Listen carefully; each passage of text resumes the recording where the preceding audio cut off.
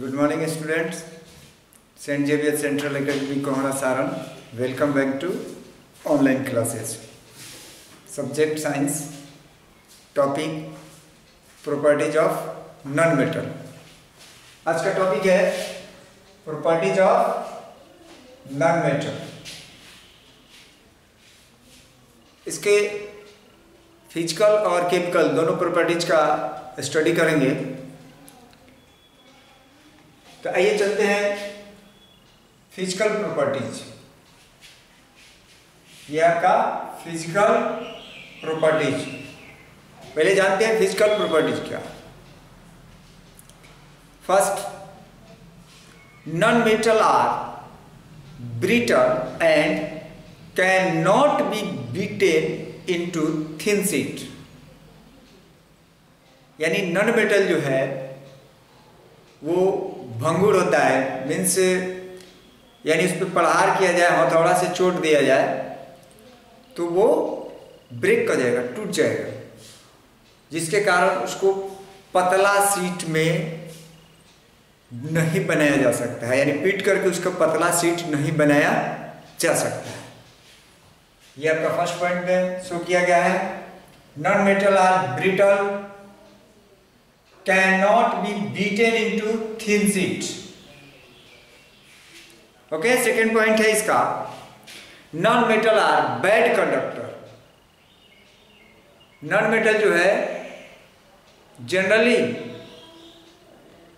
Non metal जो है bad conductor of electricity यानी इलेक्ट्रिसिटी का वो बैड कंडक्टर है, होता है एक्सेप्शनल में है ग्रेफाइट ये ग्रेफाइट कार्बन का एक रूप है और ये इलेक्ट्रिसिटी का गुड कंडक्टर है। और इस ग्रेफाइट का यूज़ जो है, वो हम लोग ड्राई सेल में यूज़ करते हैं। ठीक है? इलेक्ट्रोड के रूप में किया जाता है।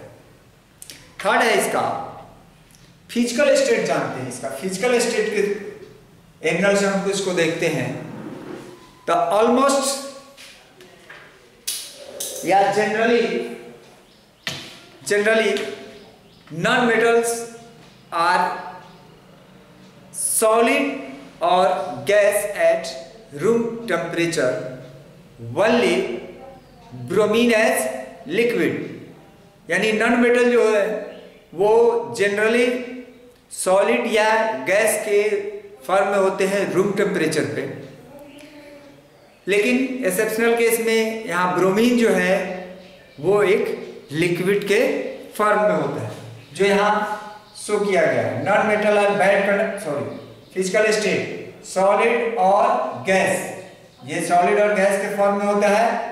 Only bromine as liquid next point है हार्डनेस जनरली नॉन मेटल जो है, वो सॉफ्ट होता है।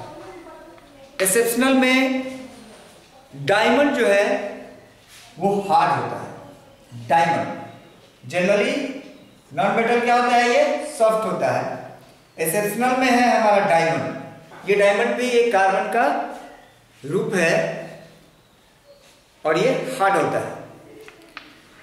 ये था हमारा फ़िज़िकल प्रॉपर्टी अब चलते हैं केमिकल प्रॉपर्टीज़ की तरफ़।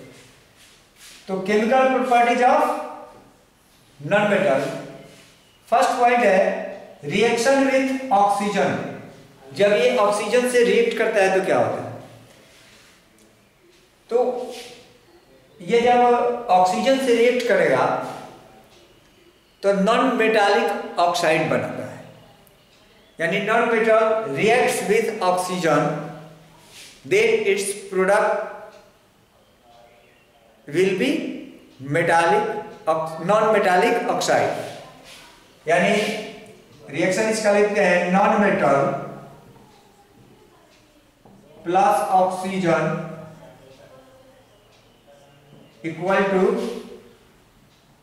non metallic non metallic oxide ध्यान रखेंगे नॉन मेटालिक ऑक्साइड स्पेस होने के कारण, इसका इसका इक्वेशन है, लिखते हैं यहाँ जगह नहीं है तो यहाँ इस स्पेस में लिखते हैं। या फिर यहाँ लिखते हैं। देखिए नॉन मेटल तो नॉन मेटल ले लीजिए सल्फ़र प्लस ऑक्सीजन तो O2 तो रिएक्ट करेगा नॉन मेटालिक ऑक्साइड यानी SO2 SO2 यानी सल्फ़र जो है ऑक्सीजन से रिएक्ट करेगा तो सल्फ़र डाइऑक्साइड बनाएगा, यानी नॉन मेटल का ऑक्साइड फॉर्म करता है। यानी इसका प्रोडक्ट नॉन मेटल ऑक्साइड होता है। सेकेंड है हमारा reaction with water reaction with water generally non-metal do not react with water they may be react in air phosphorus is very reactive non-metal it easily catch fire metal जो होता है वो water से react नहीं करता है do not react लिखा है ये डू नॉट रिएक्ट यानी वाटर से ये रिएक्ट नहीं करता है और ये रिएक्टिव होता है कहा? एयर से। इसमें ये फास्फोरस है जो एयर से ज़्यादा रिएक्ट करता है और ये एटमॉस्फेयर में जैसे आएगा एटमॉस्फेरिक टेम्परेचर और एटमॉस्फेरिक एयर से के कांटेक्ट में आएगा तो ये आसानी से ये जल जाता है, यानी आग लग जाता है। इसलिए इसको सेफ्टी के एंगल से देखा जाए सेफ्टी के दृष्टिकोण से इसको वाटर या किरोसिन ऑयल में रखा जाता है। नहीं तो ऐसे बाहर रखा जाएगा तो ये चलने लगेगा। एटमोस्फेरिक टेम्परेचर पर ही एयर के प्रेजेंस में ये चलने लगेगा क्योंकि ये मोर रिएक्टिव है वेरी रिएक्टिव है एयर से।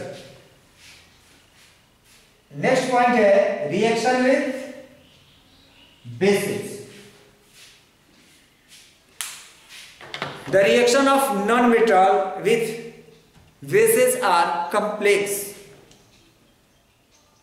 means non metal जो है बेस से रिएक्ट होता है तो कंप्लेक्स कंपाउंड फॉर्म करता है, बनाता है।